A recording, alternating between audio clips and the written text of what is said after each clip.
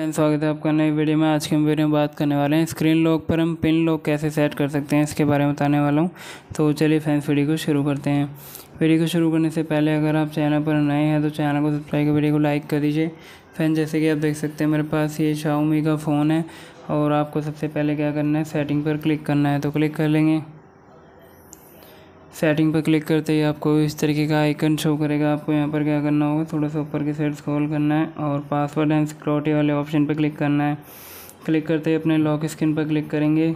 Click करते ही जो भी आपने लॉक लगा रखा है उसे ओपन कर देंगे। ओपन करते ही पिन वाले ऑप्शन पर क्लिक करेंगे। सेकेंड वाला पिन वाला ऑप्शन है। क्लिक करने के बाद गो इट पर क्लिक कर देंगे। गो इट पर क्लिक करते ही जो भी आप पिन लगाना चाहते हैं, वो लगा सकते हैं इस तरीके से। और कंफर्म पर क्लिक कर देंगे। दो बार लगाना होगा आपको फैंसी है सेम पासवर्ड और ओके कर देंगे और आपका ये पिन लॉक सेट हो जाएगा आपकी लॉक स्क्रीन पर। तो मैं आपको दिखा देता हूँ।